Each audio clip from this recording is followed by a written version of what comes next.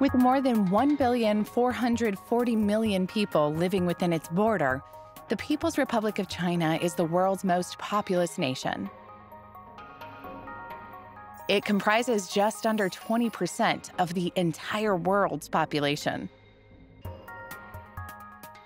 While the Republic itself was only founded in the mid 20th century, China's borders are vast, encompassing a diversity of landscapes, cultures, languages, and traditions that date back thousands of years. Thanks to extensive record keeping by emperors dating back to the second century, we know that for a millennium, the population fluctuated between roughly 40 and 60 million people as plagues and wars came and went. Then, in the Ming Dynasty in the 14th century, China's population began growing steadily. Like many nations, the period coinciding with the Industrial Revolution brought changes in health and nutrition that extended lifespans and reduced infant mortality. By 1820, China had more than 380 million citizens, which was one third of the whole world's population. When the People's Republic of China was established in October 1949, its total population was already half a billion, more than triple the US population of 150 million at that time. The modern nation covers an area of just over 3.7 million square miles, with a total population density of 375 people per square mile. Shanghai alone is home to more than 23 million people, giving it a population density of just under 5,200 individuals per square mile. In its more concentrated districts, this figure soars to more than 9,800 inhabitants for every square mile. Elsewhere, China's population could be considered quite sparse. Tibet's 3.18 million people make up just a fraction of a percent of the total population. And due to its rugged terrain, it has an average of just five people per square mile.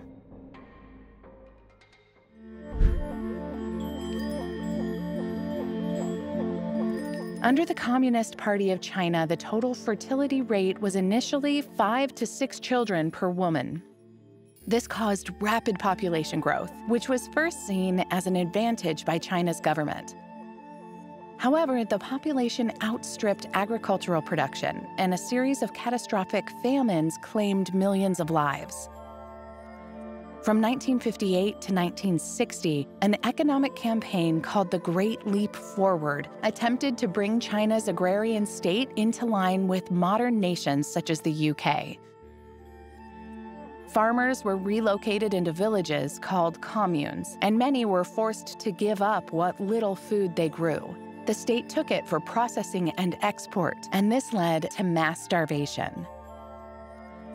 In the years that followed, continued reforms further industrialized China. By the 1960s, child mortality was dropping significantly. Where previously more than 131 out of every thousand children born would die before their fifth birthday, that figure fell to 55 in 1980. Today, that figure is just 10. From a life expectancy of around 32 from the mid 19th century through to the 1920s, by the 1970s, the average citizen in China could expect to live well into their 60s. In 2021, this figure reached 77 years. In just a few decades, the population virtually doubled. What was seen as a tremendous resource was beginning to look like a serious problem.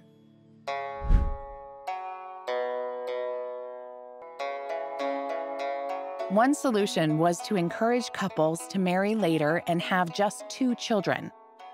In 1979, China's leader Deng Xiaoping reduced that number to just one child per couple in what would famously become known as China's one child policy. Those who had more children faced a penalty in the form of a child raising fee.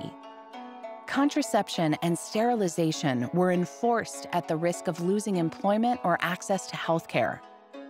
The policy successfully reduced the total fertility rate, seeing it drop to 1.7 children per woman, well below the replacement rate of 2.1. But in 2015, faced with an aging population and an increasing dependency ratio, the government relaxed the policy to allow for two children. Then, in 2021, with a fertility rate of just 1.3, the number of children allowable was raised again to three.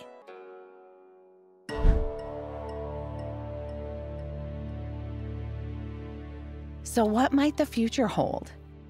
China has very few immigrants, with the government issuing only around 1,000 permanent residency cards each year. At the same time, more Chinese have emigrated in recent years, especially wealthy ones. China experiences a consistently low fertility rate, a declining infant mortality rate, and an increasing life expectancy.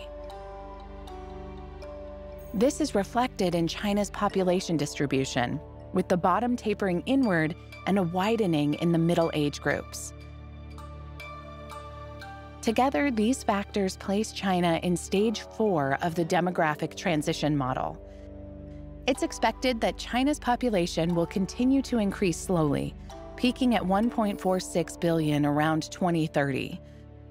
Then China's birth rate is expected to fall below the death rate and the population will begin declining. It could drop to just over 1 billion people by the end of the century, or perhaps even lower.